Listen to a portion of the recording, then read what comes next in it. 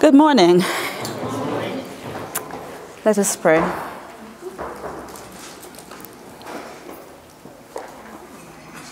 Father, we do want to give you thanks for another day that you have given us. Another day that we can come into your presence. Father, we thank you. Father, we thank you, Lord, that you are indeed here with us and that you will continue to be with us. Father, thank you for the message this morning message of your grace and your love that we can never earn, but that you give to us. We thank you. Help us, Lord, to receive your word that it will touch our hearts today, Father. In Jesus' name, amen. So, today we're going to be looking at Peter. It's from the back, maybe about the back end of last year, I found myself thinking much about Peter and you know, just how he was, what happened to him that after that fateful night, the night when he denied Jesus, when he uttered those words, I do not know this man, not once, not twice, but three times. And most importantly, I think for me, thing was thinking how that changed his life. But I think before we go forward, it's kind of good to kind of just go back just to see on the life of Peter and how he was before he actually did know that man and what happened after he met that man. So throughout this teaching, I'll be kind of dipping in and out the different gospels because they do tell kind of give varying accounts, but I mean, it's the same. It's, it's, they accurately depict the events, but different versions of what happened. So, before Peter met Jesus, we know that his name was Simeon, shortened for Simon, and he is also called, referred to as Simon Bar Jonah, meaning son of Jonah or John. He was married he was a fisherman. And he ran a fishing business with his brother Andrew. And they were in partnership with James and John, the sons of Zebedee. Now, it's thought the fishermen in that day, they were quite shabbily dressed, a bit rough. The same now? um, yeah, kind of a man's man, rowdy, vulgar language. So that's just to paint a picture of possibly where Peter would fit. Boisterous tempers and a lot.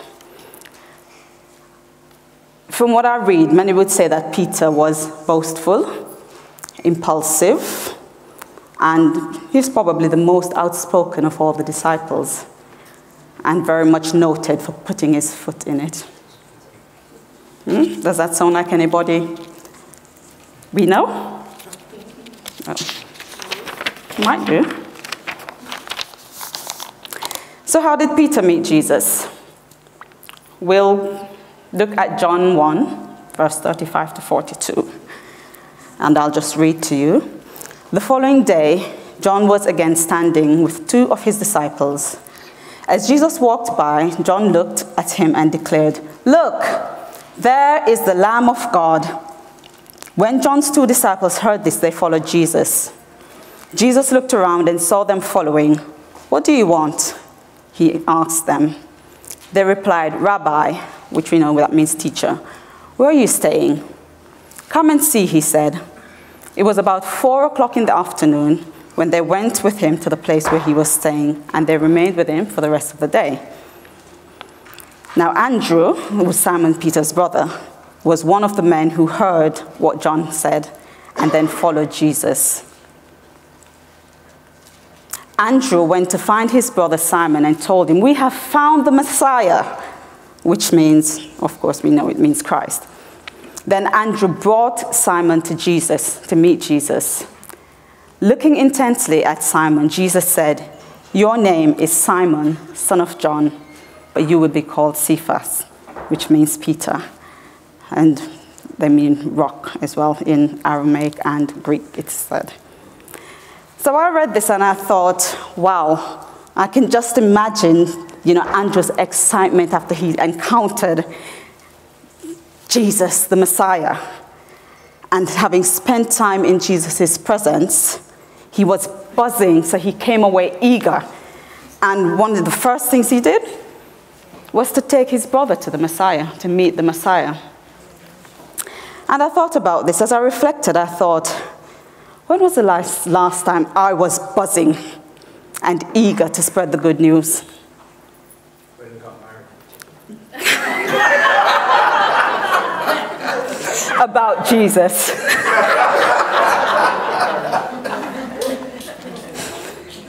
when was the last time? I mean, after all, is that not what we're called to do? But sometimes it, you know, it seems as though yeah, you know, you find a bit of treasure, you've got your own thing going, and you kind of want to keep it to yourself because, you know, whilst you're there drawing from the rich resources, you don't want to tell anybody else about it, just in case they take too much, or they might tell somebody else, and then the word gets out, and there might not be enough left for us. But that's not the case with Jesus. There will always be enough of Him to go around. There's enough of him for everyone who comes to him. So his resources are endless, so we, we don't need to be selfish with him. He came for every one of us. It is just that, you know, like Peter, some are in need of an Andrew to introduce him to the Messiah. So could that Andrew be you? Could it be me? So now we see that Simon's first encounter with Jesus and he experienced a change. I mean, initially it's a change of name, later to be followed by a change of character. And in my view, this can be the same of us. Once we have that encounter with Jesus to the point of accepting him as our Savior, we too have our names changed. I mean, by association, we now identify with Christ and we become Christians. And for some of us, it either starts or continues the process of transformation, leading to a change of character.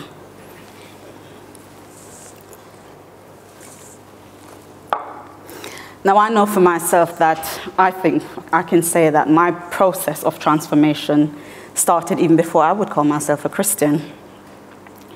You might have heard me say that I was made to go to church when I was younger. My parents didn't go to church, but they made sure that all five of us would go with my grandmother on a Sunday. And then when I wasn't made to go to church, I didn't go to church. The same is true of Barry. His mother took him to church when she didn't insist that he had to go to church. He didn't go to church anymore. And I stayed away from church for a long time, possibly only going Christmas, New Year, Easter.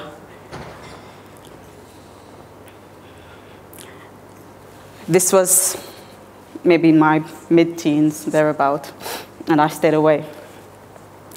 But then, when I met Barry, as he said, every Friday night, sometimes Wednesday night, sometimes Sunday night, we'd be rocking the club religiously. We'd be at the clubs until maybe sometimes four in the morning, getting home to get to work for eight o'clock the next day. And it was, it was fun. And I'm not sure what prompted me. I think one day I remember saying to him, I think we need to go to church. Even if it's once a month, we need to go to church. And he said, Yeah, fine. So then we visited a church in the area, still continuing with our clubbing because, you know, we love music, we love dancing. But I think something must have started changing in me, and even without me realizing it, because the visits to the club then got a little bit less frequent. And it didn't seem like a big thing to me. It's, in a sense, it's almost like it crept up on me. And before I realized it, I think maybe about a year had passed and I had not set foot in, inside a club. And I didn't feel like I was missing out on anything.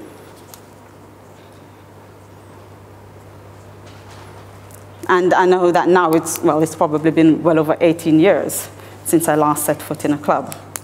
And that's fine. So that's one of the changes that I then came to notice. Another was change in my attire. There are certain things that I would wear then. Not that I, it used to be outrageous, but maybe just a couple of inches too short that I used to wear, and I just no longer felt comfortable wearing them. So that then was another change. I mean, I know that now going back home, you still get a little look of concern, questioning, mm, but because I'm a trousered person, and some people think that, you know, it's best for you to wear dresses and skirts and stuff. There's nothing wrong with that, but I'm just a trousered person. So I reckon until God, God talks to me about that, then. Yeah. So that's what I mean about either starting or continuing the, the process of transformation. Yeah? So, anyway, let's look back at Peter. So in Luke 5, 1 to 10, says that one day, as Jesus was preaching on the shore of Galilee, great crowds pressed in on, on him to listen to the word of God. He noticed two empty boats at the water's edge, for the fishermen had left them and were washing their nets. Stepping into one of the boats, Jesus asked Simon, its owner, to push out into the water. So he sat in the boat and taught the crowds from there. When he had finished speaking, he said to Simon, Now go out where it is deeper and let down your nets to catch some fish. Simon Peter, Master, Simon replied, We worked hard all last night and didn't catch a thing. But if you say so, I'll let the nets down again. And this time, their nets were so full of fish they began to tear. A shout for help brought their partners in the other boat, and soon boats were filled with fish and on the verge of sinking. When Simon Peter realized what had happened, he fell to his, to his knees before Jesus and said, Oh Lord, please leave me. I'm such a sinful man. For he was awestruck by the number of fish they had caught, as were the others with him. His partners, James and John, the sons of Zebedee, were also amazed. Jesus replied to Simon, Don't be afraid. From now on, you'll be fishing for people. And as soon as they landed, they left everything and followed Jesus.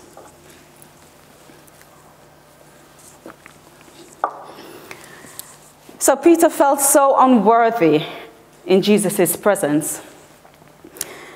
But I'm sure that those words must have done much to assure him that God had plans for him. And so it is with us. He's got plans for us. I know that for me, there are periods when I simply, you know, in my life, when I simply think, God, what am I doing here?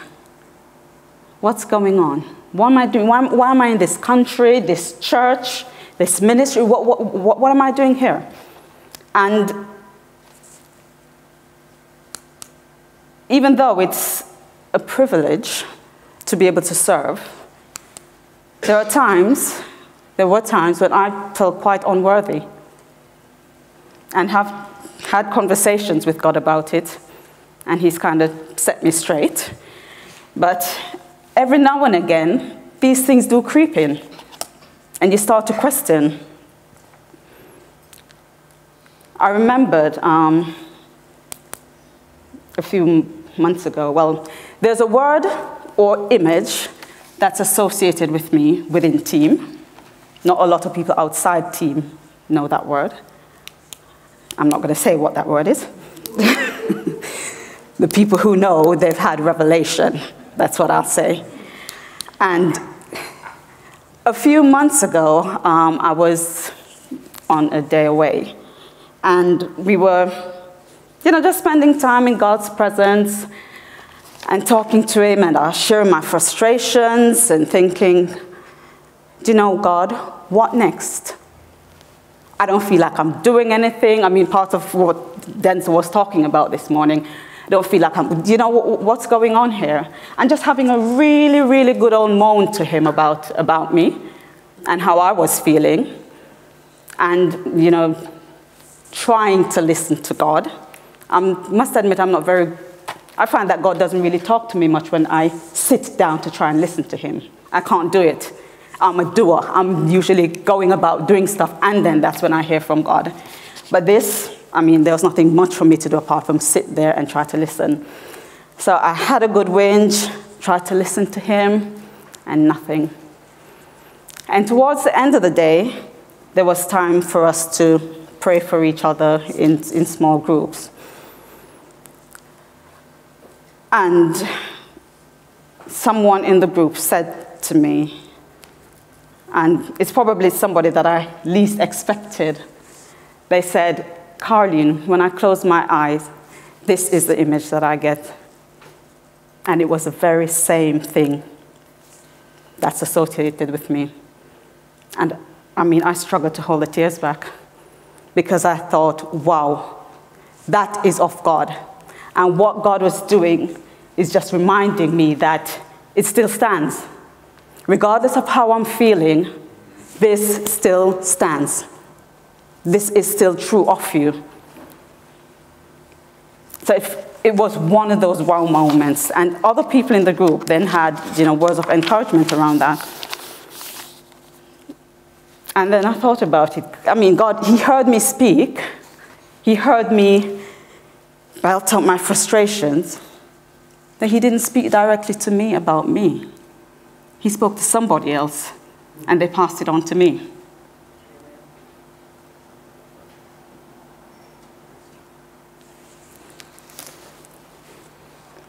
And sometimes you think, then, you know, why then not speak to me?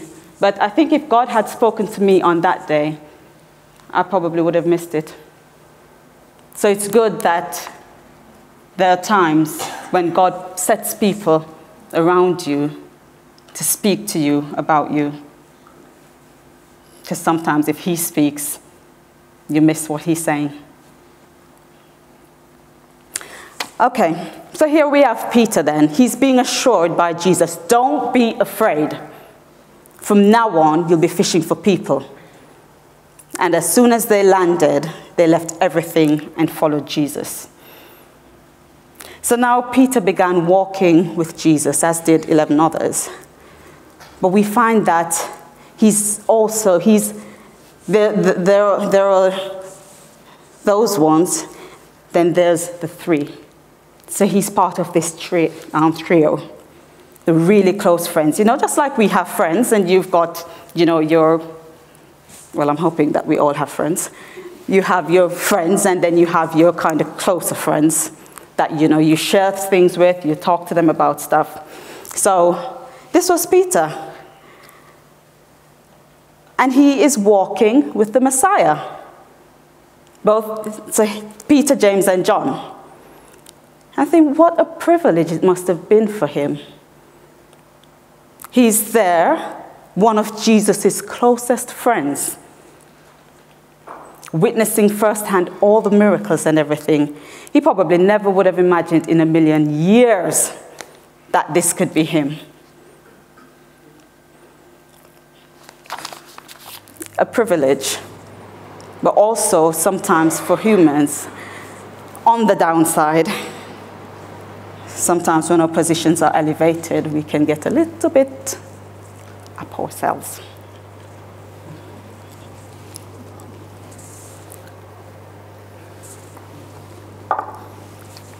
Now, there are some things um,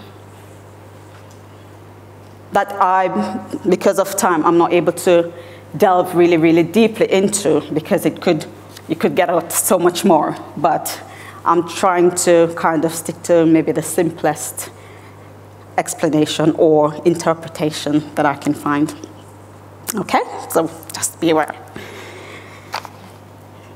So now we go to um, Matthew 16, 15 to 18, where Peter, has, Peter makes his declaration about Jesus. When Jesus came to the region of Caesarea Philippi, he asked his disciples, Who do people say that the Son of Man is? Well, they replied, some say John the Baptist, some say Elijah, and others say Jeremiah or one of the other prophets. Then he asked them, But who do you say I am? Simon Peter answered, You are the Messiah, the Son of the living God. Jesus replied, You are blessed, Simon, son of John, because the Father in heaven has revealed this to you. You did not learn this from any human being. Now I say to you, say to you that you are Peter, and upon this rock I will build my church, and all the powers of hell will not conquer it. Wow. Can you imagine getting such, hearing such words, and how Peter probably must have felt? Because my Father in heaven has revealed this to you. So Peter had received divine revelation from God. And then he went and put his foot in it. We read, we go down to verse um, 21. From then on, Jesus began to tell his disciples plainly that it was necessary for him to go to Jerusalem and that he would suffer many terrible things at the hands of the elders, the leading priests, and the teachers of the religious law. He would be killed, but on the third day he would be raised from the dead. But Peter took him aside and began to reprimand him for saying such things. Heaven forbid, Lord. He said, This will never happen to you. Jesus turned to Peter and said, Go away from me, Satan. You are a dangerous trap to me. You are seeing things merely from a human point of view, not from God's. So, this is a person who just received divine revelation from God. And now he's being told, Get behind me.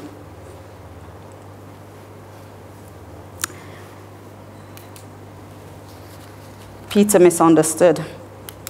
He continued to think like a human being. And I suppose, like Peter, we also struggle at times to see the divine picture.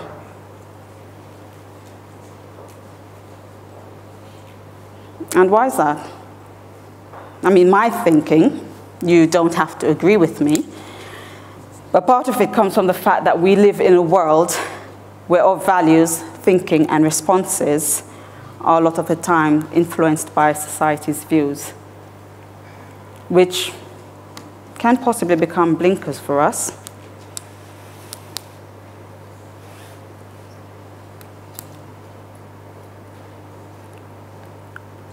One of the things I think this, has, this highlights for me as well is how we can profess Jesus to be the Lord, Savior, Messiah, but then struggle to believe the things that he says.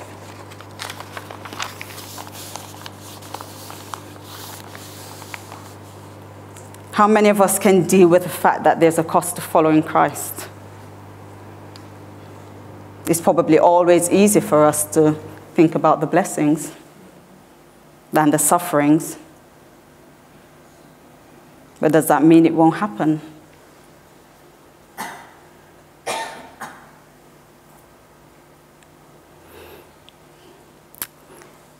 So here we go. About eight days later, Jesus took his trio up to the mountain to be alone. And then they experienced a transfiguration. And of the three, who was of one to speak? Peter. We go into Luke 9 26 to 36. About eight days later, Jesus took Peter, John, and James up on a mountain to pray. And as he was praying, the appearance of his face was transformed, and his clothes became dazzling white. Suddenly, two men, Moses and Elijah, appeared and began talking with Jesus. They were glorious to see, and when they were speaking, and they were speaking about his exodus from the world, which was about to be fulfilled in Jerusalem. Peter and the others had fallen asleep.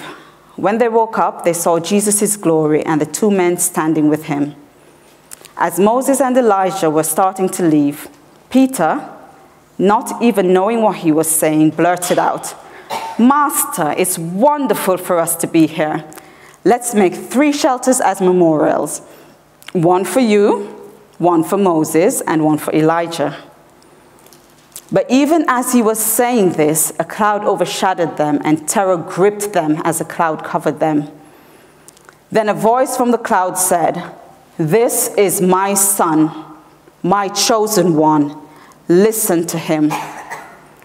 When the voice finished, Jesus was there alone. They didn't tell anyone at that time what they had seen.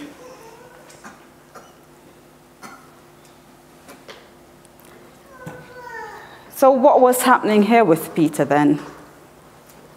Jesus had previously predicted his death in Jerusalem. Could it be that Peter had forgotten that important fact why he's saying, let's build these, these shelters so that we can stay up here? Or was he just simply caught up in the moment and enjoying, you know, enjoying what was happening? So he just wanted to stay in that place forgetting the promised suffering that Jesus had to go through and just be here in the glory. Could be he had forgotten, could be that he possibly wanted to honor those men.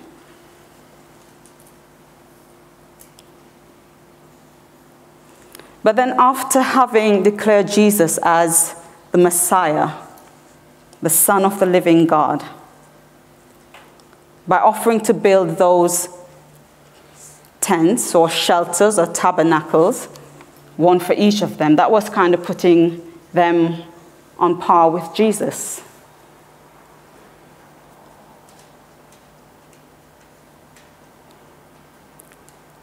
I think Peter possibly, he might have had good intentions by wanting to do that. But was that what God wanted?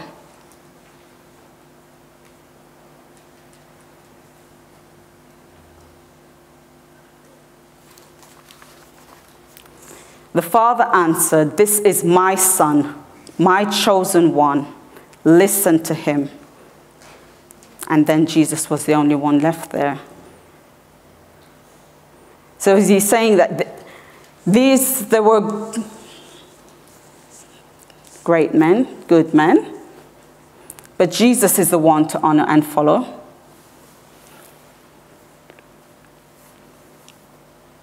I think sometimes, even though we might have good ideas and good intentions, and it can be difficult, but it's good to try to discern God's will. Because, like I said, he might have had thought, you know, just to honor these men, it might have been good for him to do that, but that's not what God, God wanted of him.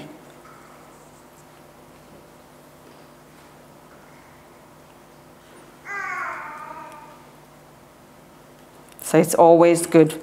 And I don't think it's always, it's, well, it's not always easy to discern God's will, is it?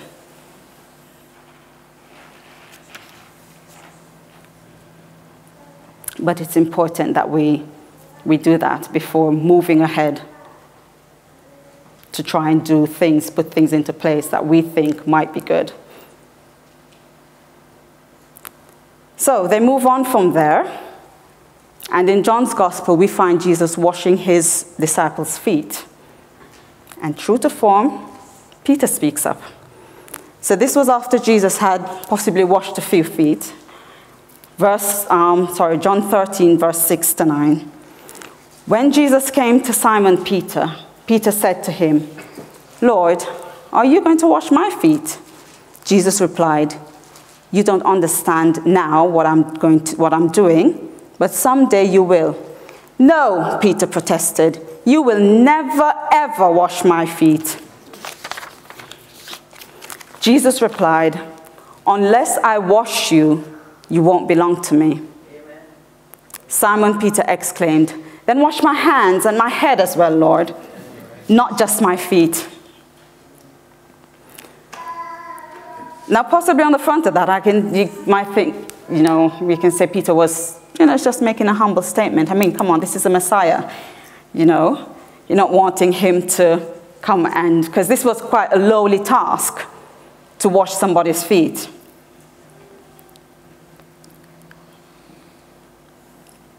But you can also wonder could that be pride?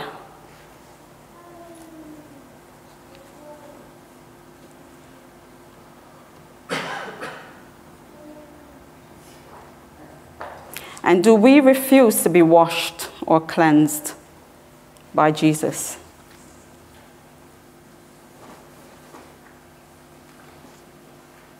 Jesus replied, Unless I wash you, unless I wash you, you won't belong to me.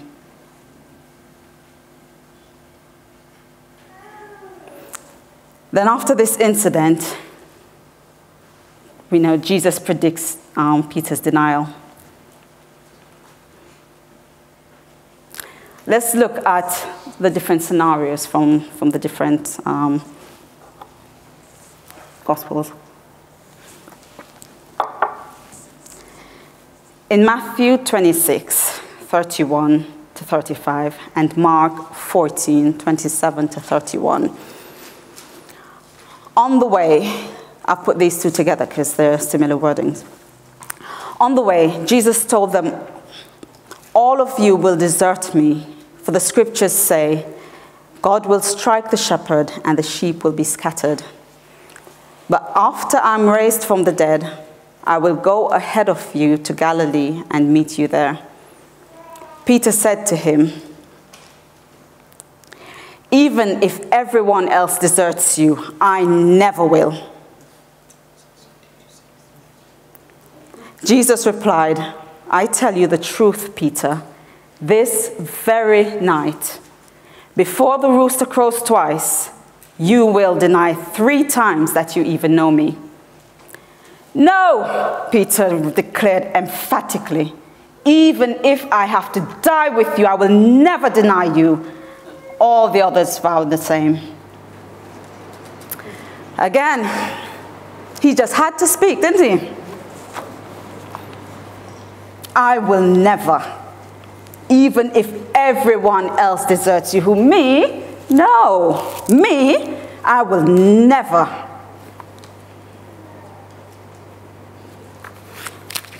I mean, you'd have thought that by now, him of all people would know not to refute what Jesus is saying. Hmm? Probably just couldn't help himself. In Luke's gospel, this was after the disciples started arguing about which one of them was considered to be the greatest. So we look at Luke 22, um, verse 31 down to 34 where Jesus says to him, Simon, Simon, Satan has asked to sift each of you like wheat. But I have pleaded in prayer for you, Simon, that your faith should not fail.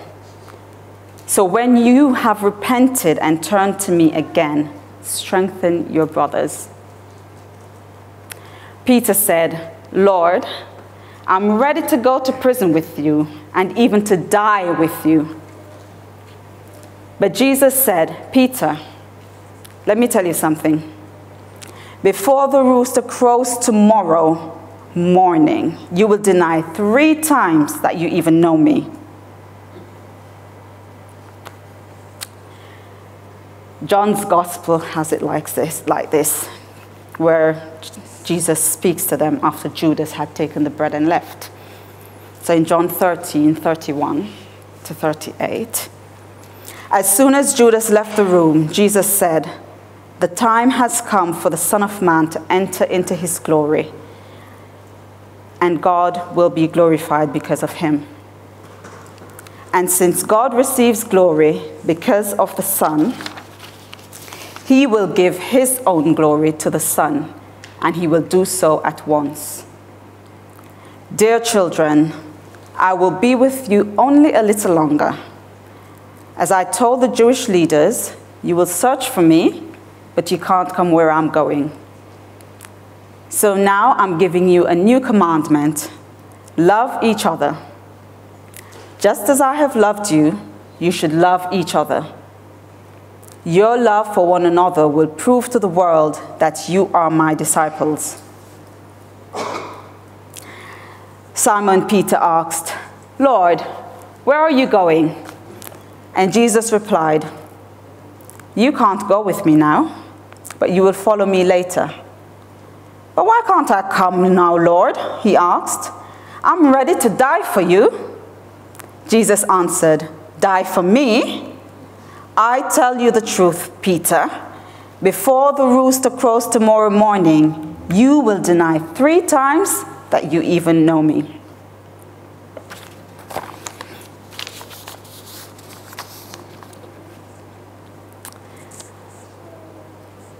So we catch up again with Mr. Peter in the Garden of Gethsemane when Judas, this was when Judas and his gang then came to arrest Jesus. And, well, Peter took on the role of knight in shining armor, didn't he? And leapt to Jesus' defense, chopped off Malchus's ear.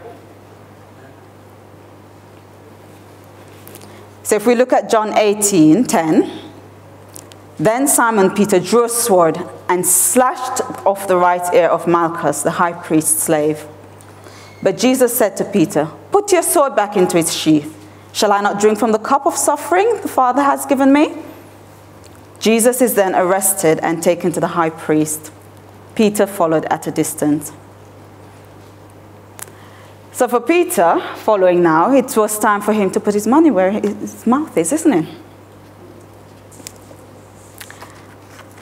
And what I've done from this, just to kind of get a fuller picture, um, this is my mixed up version. So,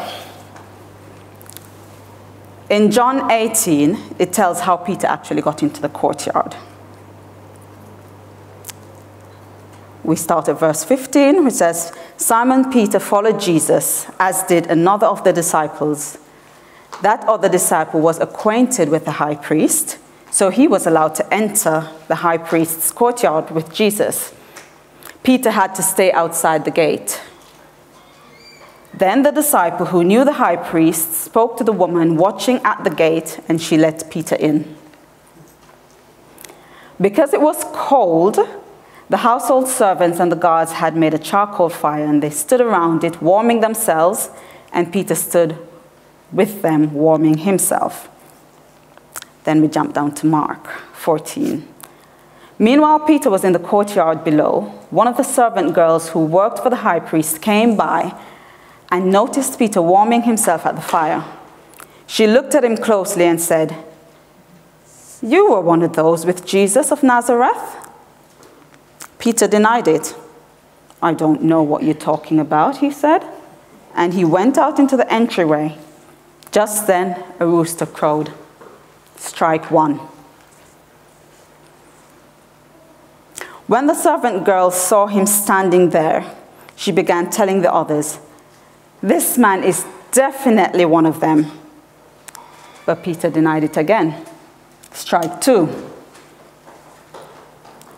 A little later, some of the other bystanders confronted Peter and said, you must be one of them. You're a Galilean. Peter swore, A curse on me if I'm lying. I don't know this man you're talking about. And immediately the rooster crowed the second time.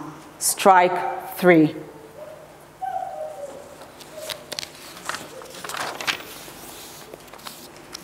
Then we go to Luke 22 61. At that moment, the Lord turned and looked at Peter. Suddenly, the Lord's words flashed through Peter's mind. Before the rooster crows tomorrow morning, you will deny three times that you even know me. And Peter left the courtyard weeping bitterly.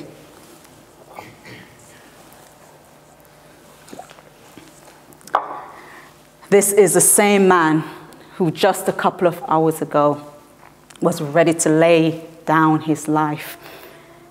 He's now turned around to say, I do not know this man. Now, we may read this story and think, but how could he? How could he? But I would think the question can be asked how could I? You see, we might not think that Peter's story reflects our behaviors and attitudes. But if we think about it carefully, sometimes, whilst we may not outrightly say, I do not know this man, at times we, doing, we do it by not saying that we know him. Same difference.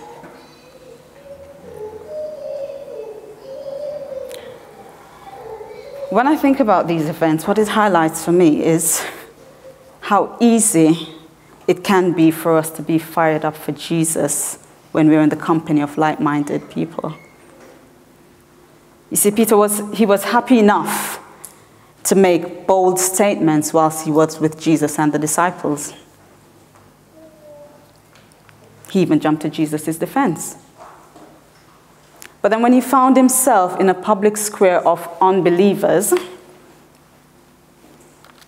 and then the opportunity arose for him to lay down his life for Jesus, as he said he would, he became a coward, cutting all ties and not wanting to associate himself with him at all, simply because he was afraid of the consequences.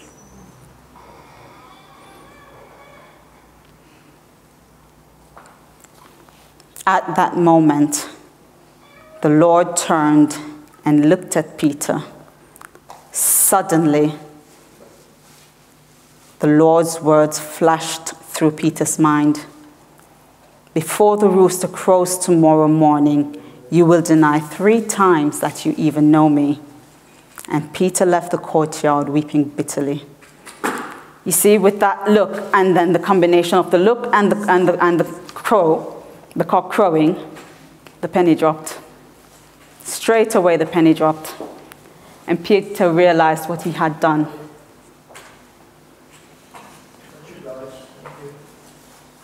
So he went out weeping.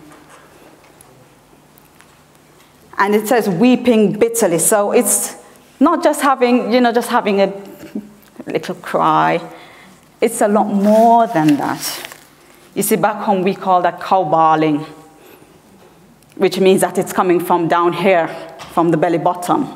That's what I, I, I um, envisage here. That cry of repentance when he realized what he had done.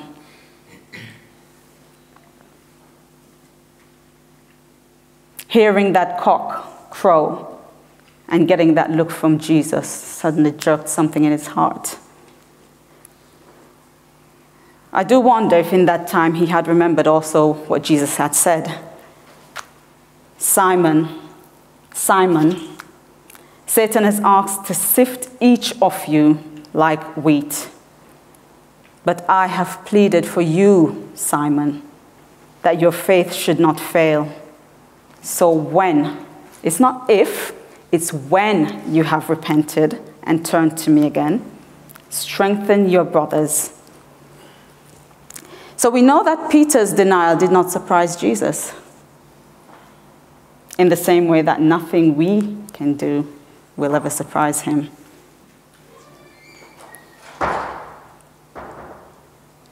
Despite Peter's betrayal, the Lord turned and looked on him. But not with a look of disgust, as we would have done, I mean, I know that I can give the look. I'm told I can give the look. My look is almost like reflex action.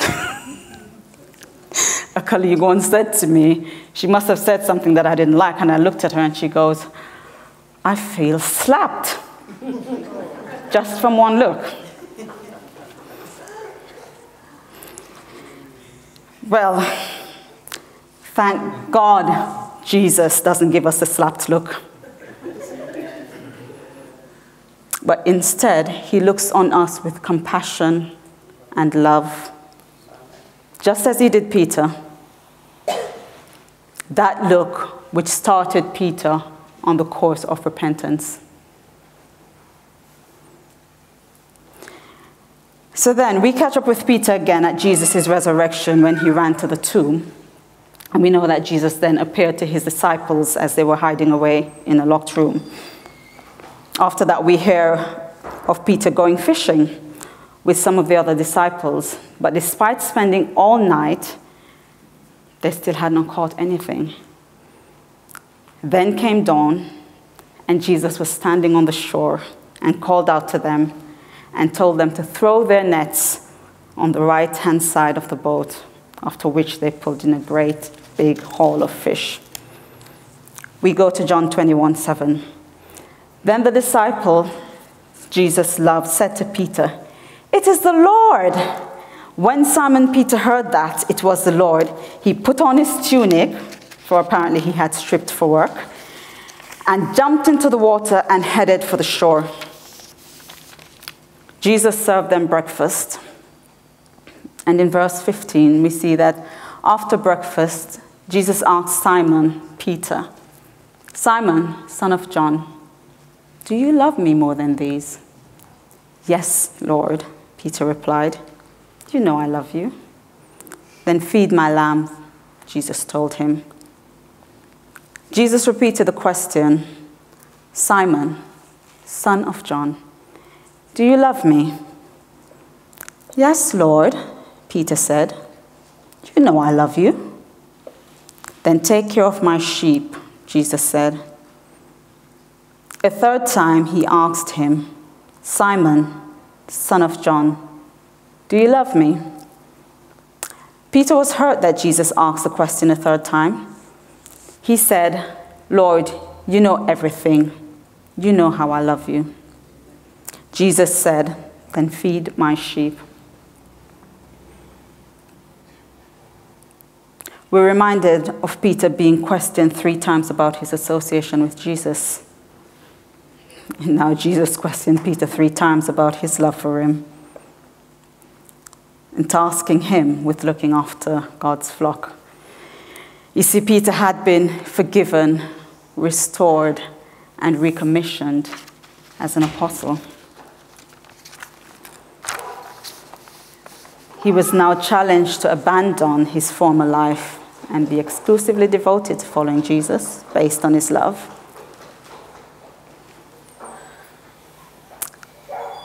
We know in the book of Acts, after Pentecost, now having received the gift of the Holy Spirit, Peter gave his first sermon. We go to Acts 1. Then Peter stepped forward, starting at verse 14. Then Peter stepped forward with the 11 other apostles and shouted to the crowd, Listen carefully, all of you, fellow Jews and residents of Jerusalem. Make no mistake about this. So let everyone in Israel know for certain that God had made this Jesus, whom you crucified, to be both Lord and Messiah. Peter's words pierced their hearts, and they said to him and to the other apostles, Brothers, what should we do? Peter replied, Each of you must repent of your sins and turn to God and be baptized in the name of Jesus Christ for the forgiveness of your sins. Then you will receive the gift of the Holy Spirit. Those who believed what Peter said were baptized and added to the church. That day, about 3,000 in all. This is the same Peter who was afraid to associate himself with Jesus in the public square, he's now telling people about Jesus. That is the power of the Holy Spirit. We know that Peter continued to preach, heal, even suffered and died for Christ. It is said that Peter, because we know that Peter was crucified, it is said that he requested to be crucified upside down because he didn't count himself worthy to be crucified in the same manner as his Lord. Now, I feel like I've been on a journey with this man. So let's see if there are any lessons that we can learn from or take from his story.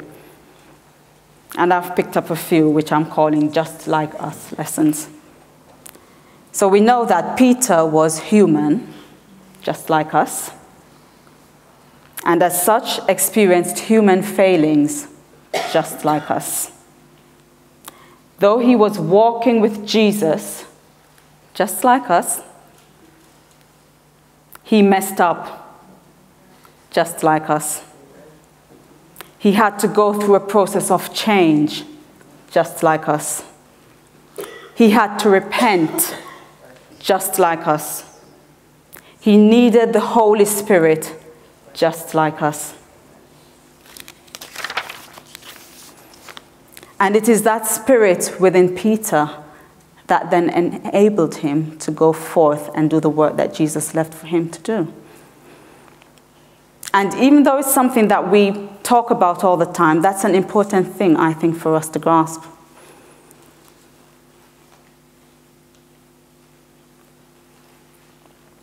You see, in the beginning, Peter did things on impulse and he displayed signs of pride. He was boastful and, quite frankly, in my view, sometimes a little bit up himself. But through all of his ups and downs, the Lord Jesus remained his loving Lord and his faithful guide, never left him. I'm sure we all know what they say about pride. Goes before a fall. Well, Peter fell, and he fell hard. We would use the term back home and get a bitch drop.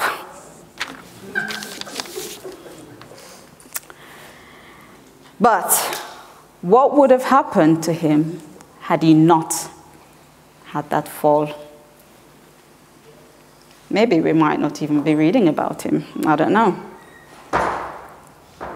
The songwriter says, If I'm too high, Lord, bring me down. And it can't hurt to make that our prayer. You see, Peter fell because he wanted to do things his way, in his strength. But let's not make that mistake that it can never happen to me.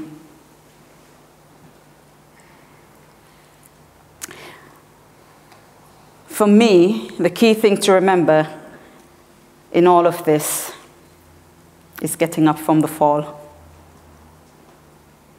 You see, anyone can fall. And to be honest, most of us will at some point and not just once, I hasten to add.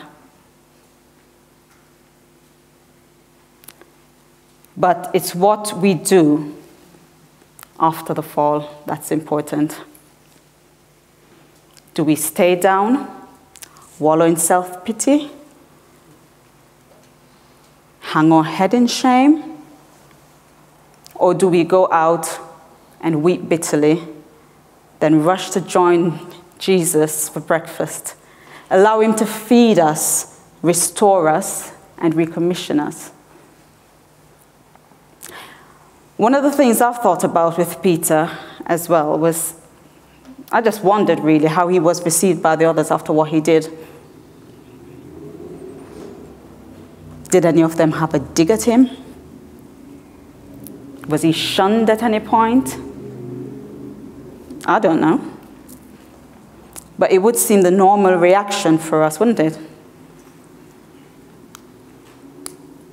Someone slips up, we write them off, wash our hands, don't want to have nothing more to do with them. Can you imagine if Jesus did that to us when we denied him?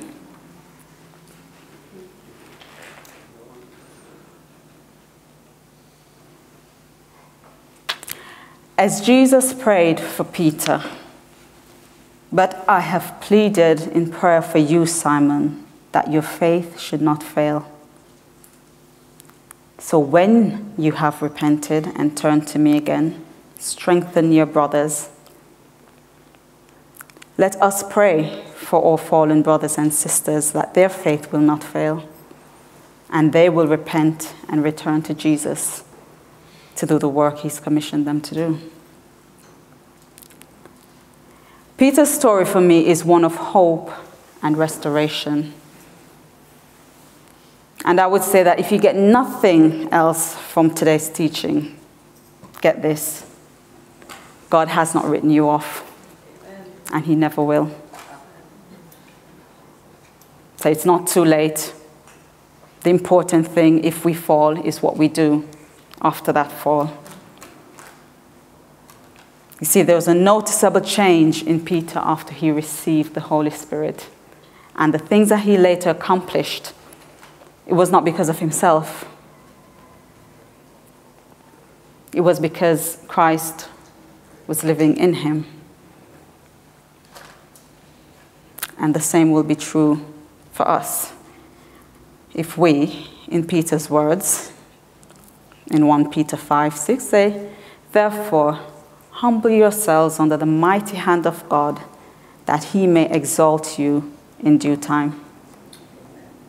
Amen. Thank you. Do that. I might have finished early, I think. No? Well, that's all right then. you want to pray? So, before we rush off, let's just close in prayer. Father, we just want to thank you, Lord, for what you did for us on the cross, for your forgiveness, for that look of love and compassion. Father, help it to pierce our hearts where it needs to, Father God, to trigger the change that needs to be made in us, Father. To strengthen us.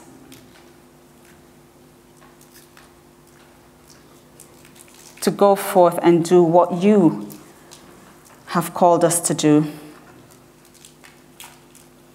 Father, we thank you for your, the gift of your Spirit that lives in us when we accept you as our Lord and Savior.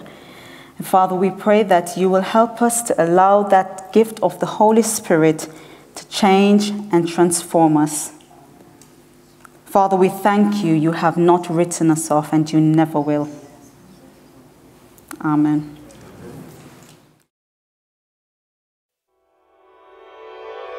We do hope you've enjoyed and benefited from this presentation. To learn more about what the Bible teaches us and how to apply this to our everyday lives, check out our biblical teaching videos at gbcweb.tv.